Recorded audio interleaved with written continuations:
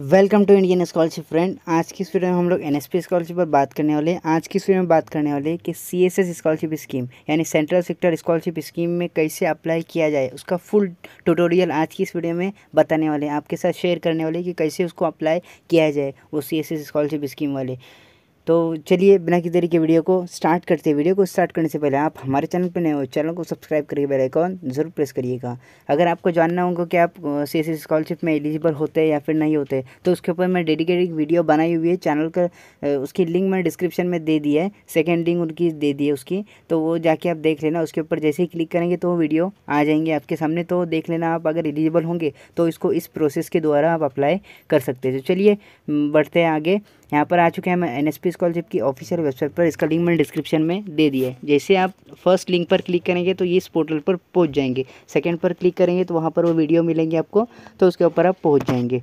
यहाँ पर first link पर क्लिक करने के बाद यहाँ पर एन एस पी स्कॉलरशिप के पोर्टल पर आने के बाद, आने के बाद यहाँ पर देखिए एप्लीकेंट कॉर्नर है तो नीचे आएँगे। सबसे पहले आपको स्कीम बता दो। तो स्कीम आती है यहाँ पर डिपार्टमेंट ऑफ़ हायर एजुकेशन ये आपको नज़र आ रहा है यहाँ पर डिपार्टमेंट ऑफ़ हायर एजुकेशन इसके अंदर ये स्कीम ओपन होकर आती है। यहाँ पर क्लिक करने के बाद ये देखिए आ रही है यहाँ पर central sector scholarship scheme of scholarship for college and university student यानी ये कॉलेज और यूनिवर्सिटी जो स्टूडेंट होते हैं, वो इसको अप्लाई कर सकते हैं, जिसको कि C S S scholarship scheme भी कहा जाता है। इसकी अप्लाई करने की लास्ट डेट आप यहाँ से देख लीजिए, इकतीस दस दो हज़ार बाईस, यानी इकतीस अक्टूबर दो हज़ार बाईस से पहले पहले इसको फाइनल सबमिट आपको करना पड़ेगा डॉक्यूमेंट्स वगैरह सबमिट करके आपको पूरा फॉर्म भर के आपको इकतीस अक्टूबर से पहले पहले फाइनल सबमिट कर लेना है। अगर इसके बाद अगर फाइनल सबमिट नहीं करते इकतीस अक्टूबर के बाद तो ये बंद हो सकती है स्कीम इसलिए आप जल्दी से जल्दी इसको फॉर्म को देखिए और समझ के अच्छे से इसको मैं अभी एक्सप्लेन करने वाला हूँ आगे। तो वो अच्छे से पूरी आखिर तक वीडियो देखिए ताकि आपको अच्छे से समझ में आ सके। तो यहाँ पर चलिए, दिखाता हूँ आपको। तो यहाँ पर फ़र्स्ट अप्लाई करने के टाइम पे, यहाँ पर आएँगे एप्लीकेंट कॉर्नर में। एप्लीकेंट कॉर्नर में आने के बाद अगर फ़र्स्ट टाइम अप्लाई कर रहे हैं तो न्यू करेंगे। अगर इससे पहले कभी अप्लाई किए रहेंगे तो यहाँ पर रिन्यूअल पर क्लिक करके आपका फॉर्म लॉग करके उसको अप्लाई कर लेंगे। रिन्यूअल कैसे अप्लाई करते हैं, उसके ऊपर मैंने डेडिकेटेड वीडियो बनाई हुई है कि रिन्यूअल फॉर्म को कैसे अप्लाई किया जा सकता है। तो वो आप देख लीजिए।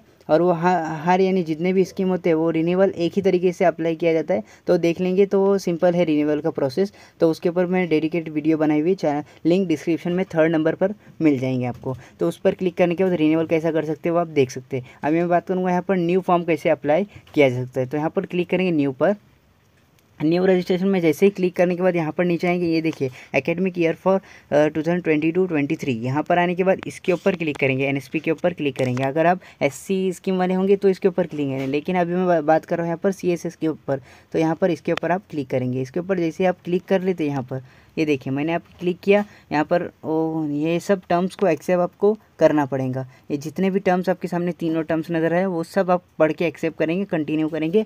कंटिन्यू जैसे आप कर लेते हो यहाँ पर देखिए fresh registration for academic year two thousand twenty two twenty three यहाँ पर आपके सामने नज़र आ गए तो यहाँ पर सबसे पहले आपको स्टेट डालना है फिर उसके बाद स्कॉलरशिप कैटेगरी डालनी है नेम डालना है, फिर उसके बाद स्कीम टाइप डालनी है डेट ऑफ़ बर्थ डालना है जेंडर डालना है, वो सब आपको अभी बता रहा हूँ मैं। यहाँ पर देखिए, सबसे पहले आपका जो स्टेट रहेगा, वो आपको यहाँ पर से सिलेक्ट करके डालना है। तो सिलेक्ट करेंगे, फिर उसके बाद स्कॉलरशिप कैटेगरी यहाँ पर आपको यह ध्यान रखिए कि आप अगर सी एस स्कॉलरशिप में एलिजिबल होंगे तो आप प्री मैट्रिक को सिलेक्ट नहीं करेंगे, क्योंकि प्री मैट्रिक को वही स्टूडेंट सिलेक्ट करेंगे जो फ़र्स्ट से टेंथ तक के स्टूडेंट होंगे, वही सिलेक्ट करेंगे। और टेंथ से अब रहेंगे, वो पोस्ट मैट्रिक को सिलेक्ट करेंगे। इसलिए आप पोस्ट मैट्रिक को ही सिलेक्ट करना है अपने। पोस्ट मैट्रिक को सिलेक्ट करना है, क्योंकि इसमें सी एस स्कॉलरशिप स्कीम में जो ट्वेल्थ अबो होते, वही इसको अप्लाई करते, इसलिए पोस्ट मैट्रिक स्कॉलरशिप स्कीम में आपने सेलेक्ट करना है। जैसे आप सेलेक्ट कर लेते सेलेक्ट करने के बाद यहाँ पर नीचे आएँगे, आने के बाद यहाँ पर देखिए आपको स्टूडेंट नेम यहाँ पर डालना है। जो आपका नेम होगा, वो यहाँ पर डालना है, फिर उसके बाद स्कीम टाइप होंगी, वो यहाँ पर से डालनी है। देखिए स्कीम टाइप में स्कॉलरशिप स्कीम पर क्लिक करेंगे, नीचे आने के बाद यहाँ पर आपको डेट ऑफ़ बर्थ आपकी, जैसे वैसे डालनी है जेंडर वैसा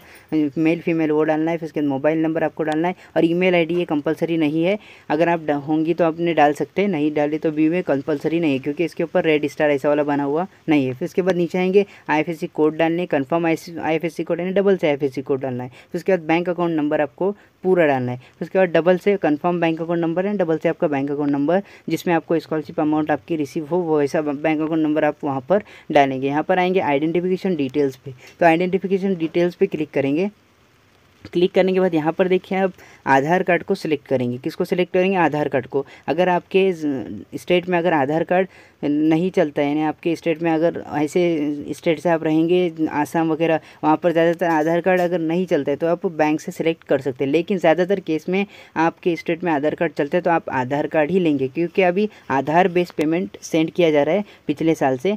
तो आप यहाँ पर आधार ही लेंगे, यहाँ पर आधार लेंगे। तो जैसे ही आप आधार पर क्लिक करेंगे, मैंने डेट ऑफ़ बर्थ वगैरह इन्फॉर्मेशन फिल नहीं की, यहाँ पर इसलिए मेरे डेट ऑफ़ बर्थ डालने के लिए बोल रहा है। तो मैं आप, आपको आगे का प्रोसेस बताऊँ, जैसे आप आधार कार्ड पर यहाँ पर उसके ऊपर क्लिक करेंगे तो यहाँ पर इस तरीके से कुछ बॉक्स खुल के आ जाएगा। उसमें आपको डालने बोलेंगे आधार नंबर तो आप आधार नंबर वहाँ पर फिल कर लेंगे। जैसे आप आधार नंबर फिल कर लेंगे, फिर उसके बाद एक कैप्चा है वो यहाँ पर डालेंगे। यहाँ पर जैसे आप कैप्चा डालेंगे, नीचे बात करेंगे, फिर उसके बाद रजिस्टर पर क्लिक करेंगे। रजिस्टर पर क्लिक करने के बाद, देखिए, रजिस्टर पर आप जैसे ही क्लिक करेंगे तो आपके सामने एप्लीकेशन आईडी जनरेट होकर आ जाएँगी। ये एप्लीकेशन आईडी मैंने यहाँ पर से हाइड कर लिए। वो हाइड करने के बाद यहाँ पर ये एप्लीकेशन आईडी आप स्क्रीनशॉट भी ले सकते हैं, नहीं तो फिर उसका आप कॉपी करके भी रख सकते हैं। फिर उसके बाद कंटिन्यू पर क्लिक करेंगे। जैसे ही कंटिन्यू करते हैं कंटिन्यू करने के बाद कुछ इस तरह का इंटरफेस आपके सामने नज़र आएगा। इसमें आपको लॉगिन करने के लिए बोलेगा। तो यहाँ पर आपके एप्लीकेशन आईडी जो आपको जनरेट हुई है, वो यहाँ पर डालेंगे। फिर उसके बाद यहाँ पर आपका पासवर्ड डालेंगे। पासवर्ड क्या होगा? आपकी date of birth first time पर पासवर्ड होती है। वो स्लैश वगैरह के साथ आपको यहाँ पर स्क्रीन पर नज़र आ रहा होगा। वैसे आपको पासवर्ड डालना है। फिर उसके बाद ये जो आपको नज़र आ रहा है तो यहाँ पर क्लिक करके आपको ये कैप्चा यहाँ पर डालना है लॉगिन पर क्लिक करना है। ये सिंपल प्रोसेस करने के बाद यहाँ पर आपके मोबाइल नंबर पर ओटीपी आएँगे, जो आपने मोबाइल नंबर वहाँ पर रजिस्टर होने के वक्त दिया था उसके ऊपर। तो आप ओ टी यहाँ पर डालेंगे। डालने के बाद कंफर्म ओटीपी पर क्लिक करेंगे। अगर नहीं आता है तो रिसेंड करके डबल से मंगा सकते हैं। अगर मोबाइल नंबर गलत रहेगा तो मोबाइल नंबर यहाँ पर से चेंज कर सकते हैं। आता है तो कंफर्म करेंगे। कंफर्म करने के बाद यहाँ पर देखिए ये वाला चेंज पासवर्ड के लिए आपको बोला जाएगा। तो यहाँ पर से आप, आपका पासवर्ड चेंज कर लेंगे, क्योंकि आप first time date of birth होती है तो आपको अभी स्ट्रॉन्ग पासवर्ड यहाँ पर रखना पड़ेगा। यहाँ पर आपका स्ट्रॉन्ग पासवर्ड आप रखेंगे, यहाँ पर से न्यू पासवर्ड करेंगे, फिर उसके बाद यहाँ पर कन्फर्म पासवर्ड करेंगे। आपका पासवर्ड ऐसा होना चाहिए जिसमें स्पेशल कैरेक्टर भी होने चाहिए upper character lower character number भी होने चाहिए, फिर उसके बाद ये मिनिमम ए डिजिट का आपका पासवर्ड होना चाहिए। वह आपके अकॉर्डिंग आप रख सकते हैं आपको। फिर उसके बाद आगे बात करूँ। क्लिक करते सबमिट पर क्लिक करने के बाद यहाँ पर आपका जो पोर्टल है वो अब ओपन हो चुका है। यहाँ पर आपको एप्लीकेशन फॉर्म पर क्लिक करना है। ये देखिए आपको साइट में एप्लीकेशन फॉर्म यहाँ पर नज़र आ रहा तो इसके ऊपर आपको क्लिक करना है। इसके ऊपर जैसे आप क्लिक कर लेते हैं यहाँ पर से, यहाँ पर मैं अभी क्लिक करके बताता हूँ क्लिक कर लेते हैं तो यहाँ पर देखिए आपका एप्लीकेशन फॉर्म ओपन हो जाता है, पूरा नीचे तक आपको नज़र आ रहा फिर सबसे पहले आप ये वन बाय वन बात करूँगा कि क्या क्या इसमें इन्फॉर्मेशन पहले ही दी रहती है। तो यहाँ पर देखिए स्टेट पहले ही दिया रहता है स्कॉलरशिप कैटेगरी पहले ही दी रहती है नेम पहले ही दिया रहता है, फिर उसके बाद डेट ऑफ़ बर्थ पहले दी रहती है जेंडर पहले दिया रहता है, फिर उसके बाद यहाँ पर ईमेल आईडी पहले दी रहती है मोबाइल नंबर पहले दिया हुआ रहता है, फिर उसके बाद आधार नंबर पहले ही दिया दिया हुआ रहता है। नीचे बात करेंगे यहाँ पर, आने के बाद यहाँ पर देखिए आई कोड आपको पहले दिया रहता है बैंक अकाउंट नंबर भी पहले ही दिया हुआ रहता है। तो ये सब इन्फॉर्मेशन आपको पहले ही दी हुई रहती है। क्यों? जो इन्फॉर्मेशन आप रजिस्टर के होने के वक्त डालते हैं, वही इन्फॉर्मेशन इसमें डायरेक्ट ही फैच होकर आ जाती है। अभी आपको इन्फॉर्मेशन डालनी है, आप अगर सिंगल गर्ल चाहे तो यस नो करेंगे। फिर उसके बाद यहाँ पर देखिए, आप रिलीजन रिलीजन आपका क्या होगा, वो यहाँ पर डालेंगे। रिलीजन यानी धर्म होता है आपका। फिर उसके बाद फिर कम्युनिटी कैटेगरी यहाँ पर डालेंगे फादर्स नेम मदर्स नेम डालेंगे एनुअल इनकम कितनी आपकी फैमिली की, वो डालेंगे। फिर उसके डे स्कॉलर हॉस्टेलर वो डालेंगे। डे स्कॉलर यानी डेली स्कूल जाते हैं या फिर कॉलेज जाते हैं तो वो डालेंगे। तो फिर नीचे बात करेंगे ये सब इन्फॉर्मेशन डालने के बाद, यहाँ पर एकेडमिक डिटेल्स पर अपने क्लिक करना है। यहाँ आपको नज़र आ रहा है एकेडमिक डिटेल्स तो यहाँ पर एकेडमिक डिटेल्स में आपको सर्च योर इंस्टीट्यूट का ऑप्शन नज़र आता है ये वाला। तो यहाँ पर क्लिक करेंगे और आपके इंस्टीट्यूट को अपने सर्च कर लेना है। यहाँ पर जैसे आपने इंस्टीट्यूट को सर्च कर लेना है, सबसे पहले इंस्टीट्यूट का स्टेट डालना है। जो भी आपका स्कूल कॉलेज इंस्टीट्यूट होगा ना, वहाँ पर उसका स्टेट डालना है, फिर उसके बाद वहाँ पर आके डिस्ट्रिक्ट डालना है। डिस्ट्रिक्ट डालने के बाद गैस गेट इंस्टीट्यूट लिस्ट पर क्लिक करना है। ये क्लिक करने के बाद नीचे आएँगे। नीचे आने के बाद यहाँ पर देखिए, आपका जो इंस्टीट्यूट रहेगा, वो यहाँ पर से आप सिलेक्ट उसको कर सकते हैं। सिलेक्ट करने के बाद, मैं भी बता रहा हूँ आपको, ये एक इंस्टीट्यूट का मैंने नेम डाल के सर्च किया। तो सर्च करने के बाद मेरे सामने वो इंस्टीट्यूट आ चुका है। तो यहाँ पर देखिए, आने के बाद यहाँ पर इसके ऊपर आपको क्लिक करना है। ये जो डॉट है, इसके ऊपर आपको क्लिक करना है। जैसे मैं क्लिक करता हूँ, उसके बाद ये कुछ इस तरह का इंटरफेस आता है। तो यही इंस्टीट्यूट है कि बराबर देखने के लिए बोल रहा है। और फिर उस इंस्टीट्यूट को यहाँ पर आप क्लिक करके सिलेक्ट भी कर सकते हैं। यहाँ पर सिलेक्ट करेंगे, यहाँ पर सिलेक्ट करने के बाद कुछ इस तरह का इंटरफेस आपके सामने नज़र आता है। आने के बाद यहाँ पर देखिए एडमिशन ये सब इन्फॉर्मेशन आपको जो होती है यहाँ पर नज़र आ रही है, वो ऑप्शनल होती है, क्योंकि उसके ऊपर रेड स्टार ऐसे हुए नहीं रहते। सो सबसे पहले मैं बात करूँ, यहाँ पर देखिए admission enrolment registration number admission year roll number फिर उसके सेक्शन ये सब इन्फॉर्मेशन आपको डालनी कंपलसरी नहीं है। अगर मिल जाती है तो डाल देनी है। फिर उसके बाद नीचे बात करूँगी, यहाँ पर प्रेजेंट क्लास आपका कोर्स ये डालना है आपको, कौन सा कोर्स कर रहे वो, फिर उसके बाद प्रेजेंट क्लास कोर्स का ईयर वो डालना है, कौन सा ईयर है वो। फिर उसके बाद mode of study full time है पार्ट टाइम है, वो डालनी है, फिर उसके बाद प्रेजेंट क्लास स्टार्ट डेट यहाँ पर देखिए प्रेजेंट क्लास की जो स्टार्ट डेट रहेंगी, वो यहाँ पर डालनी है। प्रीवियस बोर्ड यूनिवर्सिटी नेम यानी पिछला आपका बोर्ड या फिर यूनिवर्सिटी का जो नेम है, वो यहाँ पर आपको सिलेक्ट करना है। प्रीवियस क्लास ये यहाँ पर आपको डालना है प्रीवियस क्लास कौन सी थी वो आपको डालना है? प्रीवियस क्लास में पासिंग ईयर क्या था वो डालना है। यानी पिछली क्लास में पासिंग ईयर क्या था? फिर उसके बाद प्रीवियस क्लास का परसेंटेज आपको डालना है। फिर उसके बाद अगर प्रीवियस क्लास में अगर रैंक होल्डर होंगे तो यस या नो कर रहे अगर रैंक होल्डर होंगे, अगर रैंक होल्डर होंगे तो यस करना है, नहीं होते नो करना है। फिर उसके बाद यहाँ पर टेंथ और ट्वेल्थ की ये इन्फॉर्मेशन आपको यहाँ पर से डालनी है। फिर उसके सबसे पहले बात करूँ कि रोल नंबर डालना है आपको टेंथ का।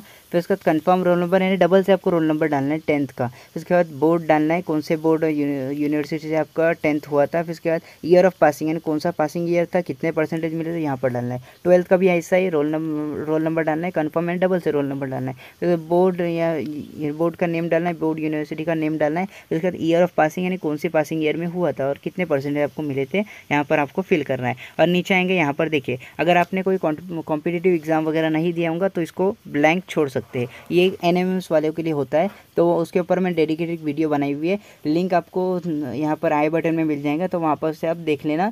ये एन स्कॉलरशिप के लिए होता है। अगर आप इसमें एलिजिबल नहीं होंगे तो इसको छोड़ देंगे। तो फिर नीचे बात करूँगा, यहाँ पर आने के बाद नीचे देखिए। अगर आप अनाथ होंगे तो आप पर यस करना है नो होंगे तो नहीं करना है। फिर उसके बाद यहाँ पर गार्जियंस का नेम लिखना है। आप अगर फिजिकली हैंडीकैप होंगे तो यहाँ पर यस करना है। कौन से टाइप में वो सब अगर होंगे तो उसके ऊपर मैं डेडिकेटेड अलग से वीडियो लाने वाला लाने वाला हूँ। फिजिकली हैंडीकैप स्टूडेंट कैसे उसको अप्लाई कर सकते हैं, वो वाली। तो वो वीडियो आप देख लेना। फिर बाद मैरिटल स्टेट मैरिट है अनमैरिड है यहाँ पर से देख लेना पेरेंट्स का प्रोफेशन क्या है वो क्या करते हैं पेरेंट्स वो डालना है। उसके बाद यहाँ पर आपको डालना है any parent you not live यानी वो डालना है अगर आपका पेरेंट्स अगर ये देखिए आपके फादर मदर अगर कोविड की वजह से अगर कोई आ, कोई चला गया और कोविड क्राइसिस की वजह से अगर अपने, अगर फादर मदर को खोया रहेंगे तो यहाँ पर से आप डाल सकते हैं। फिर उसके बाद यहाँ पर देखिए नीचे नीचे बात करने के बाद ये देखिए सेव एंड कंटिन्यू पर क्लिक करना है। ये सेव एंड कंटिन्यू पर आपको क्लिक करना है। ये देखिए, जैसे आप सेव एंड कंटिन्यू पर क्लिक करते हैं तो यहाँ पर कुछ इस तरह का इंटरफेस आपके सामने नज़र आता है। यहाँ पर देखिए, आपको कॉन्टैक्ट डिटेल्स लिखनी पड़ेंगी। सबसे पहले आपका स्टेट तो यहाँ पर आ जाएगा डिस्ट्रिक्ट यहाँ पर आपको डालना पड़ेगा। रूरल अर्बन एरिया में कौन से रहते हैं? जैसे कि आप ग्रामीण या फिर गाँव के एरिया में रहते हैं रूरल पर क्लिक करेंगे। अगर आप सिटी के एरिया में रहते तो यहाँ पर आप अर्बन कर सकते हैं। फिर उसके बाद यहाँ पर हाउस नंबर आपको, वो पूरा आपका एड्रेस यहाँ पर डालना होगा। फिर उसके यहाँ पर पिन कोड वगैरह आपको डालना पड़ेगा। ये सब इन्फॉर्मेशन डालने के बाद ये कुछ इस तरह की आपकी स्कीम आपको नज़र आएँगी। ये यहाँ पर स्कीम आपकी नज़र आएँगी ना तो यहाँ पर आपको स्कीम के साइट में डॉट दिख रहे हैं, उसके ऊपर आपको क्लिक करना है। जो यहाँ पर सेंट्रल सेक्टर स्कॉलरशिप स्कीम आपको नज़र आएँगी तो यहाँ पर ये साइट में डॉट दिखेंगे, वो आपको यहाँ पर क्लिक करना है। वहाँ पर जैसे आप क्लिक करेंगे तो नीचे आपको डॉक्यूमेंट्स का ऑप्शन ओपन हो जाएगा। तो डॉक्यूमेंट्स में आप देख सकते हैं यहाँ पर, और नीचे आने के बाद ये डॉक्यूमेंट्स का ऑप्शन आपको नज़र आए ना, यहाँ पर देखिए। Scholarship amount less less than 50000 no need to upload any documents. Submit copy of the documents in school college and institute यानी इसमें बोला हुआ है कि स्कॉलरशिप अमाउंट अगर आपकी फिफ्टी थाउज़ेंड रुपीज़ से कम है तो आपको, आपकी डॉक्यूमेंट्स है वो यहाँ पर अगर सबमिट नहीं किए डायरेक्ट उसकी डॉक्यूमेंट्स की कॉपी अगर सबमिट किए स्कूल कॉलेज और इंस्टीट्यूट में, तभी भी आपका चल जाएगा। रहेंगे तो ये सब डॉक्यूमेंट्स आपको देने पड़ेंगे। फ़ोटो चिपकाना फ़ोटो चिपकाने के बाद नीचे आएँगे, नीचे आने के बाद यहाँ पर आपको आपको रोल नंबर डालना है। यहाँ पर रोल नंबर जैसे ही डालेंगे तो यहाँ पर आपको इसकी सबसे पहले प्रिंट आउट लेनी है, फिर उसके बाद यहाँ पर ये डॉक्यूमेंट्स वगैरह आपको यहाँ पर इसके साथ चिपकाने और सील यहाँ पर स्कूल स्कूल या कॉलेज या यूनिवर्सिटी के यहाँ पर सील सील आएँगी, उनका जो सील रहती है वो यहाँ पर आएँगी और यहाँ पर सिग्नेचर आएँगी हेड मास्टर की। हेड मास्टर की सिग्नेचर उनके नीचे कॉन्टैक्ट नंबर आएगा। तो ये सब आपको प्रिंट आउट करने के बाद ये सब कर लेना है। तो फिर ये सब आपको ये सील और ये सिग्नेचर वगैरह लेने के बाद आपको इसको एक फ़ोटो निकाल लेना है और फ़ोटो निकालने के बाद यहाँ पर आने के बाद इसको अपलोड आपको कर देना है। यहाँ पर देखिए आप अपलोड पर क्लिक करके इसको अपलोड आपने कर लेना है। यहाँ पर से अपलोड कर लेना है। फिर उसके बाद अपलोड होने के बाद यहाँ पर सेव ड्राफ्ट पर क्लिक करना है। क्या करना है अपलोड होने के बाद सेव ड्राफ्ट पर क्लिक करना है। डायरेक्ट ही आपको फाइनल सबमिट नहीं करना है। आपको सेव ड्राफ्ट पर सबसे पहले क्लिक करना है। क्योंकि आप फाइनल सबमिट कर लेंगे। अगर आपके फॉर्म में कुछ करेक्शन होंगे या फिर गलती होंगी तो वो फाइनल सबमिट करने के बाद एडिट नहीं हो सकती। इसलिए आप सबसे पहले यहाँ पर आप सेव ड्राफ्ट पर क्लिक करेंगे। ये देखिए आप सेव ड्राफ्ट पर क्लिक करेंगे। फिर उसके बाद सेव ड्राफ्ट करने के बाद आप देख लेंगे कि आपने डॉक्यूमेंट्स वगैरह अपलोड आपके सबके हो गए। वो सब आपने बोनोफाइड साइन वगैरह करा कर इंस्टीट्यूट से स्कूल से ले आया और उसका फ़ोटो वगैरह यहाँ पर से अपलोड कर लिया। तो वो सब फ़ोटो वगैरह अपलोड करने के बाद ही इसको फाइनल सबमिट आपने कर लेना है। वो सब आपकी इन्फॉर्मेशन देखेंगे, बराबर है तो ही यहाँ पर फाइनल सबमिट कर लेना है। और फाइनल सबमिट करने के बाद इसकी जो एक कॉपी निकलेंगी, वो आप डाउनलोड कर लेंगे। ये एप्लीकेशन की जो कॉपी निकलेंगी ना, वो आप डाउनलोड कर लेंगे। वो डाउनलोड करने के बाद आपकी उसकी एक प्रिंट आउट निकाल के ले लेनी है। प्रिंट आउट के साथ आपको जितने भी डॉक्यूमेंट्स आपने मैंने बताए तो वो सब डॉक्यूमेंट्स आपको बोनोफाइट के साथ यहाँ पर कॉलेज में आपको जमा करने होंगे। जिस भी कॉलेज में आपने एडमिशन लिया है, उस कॉलेज में आपको जमा करने होंगे और उनको बोलना पड़ेगा कि हमारे फॉर्म को वेरीफाई आप कर दीजिए। तो ये सब पूरा प्रोसेस इसका होता है। तो कैसी लगी वीडियो हमें कमेंट करके ज़रूर बताइए और आप हमारे चैनल पर नए हो चैनल को सब्सक्राइब करके बेल आइकॉन ज़रूर प्रेस करिएगा। तो चलिए मिलता है ऐसी एक नई वीडियो के साथ।